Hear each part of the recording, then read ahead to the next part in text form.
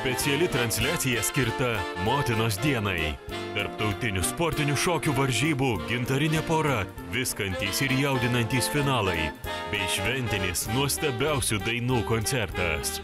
Gegužės 5-ąją, sekmadienį, 19 val. tiesiogiai iš Kauno per LRT.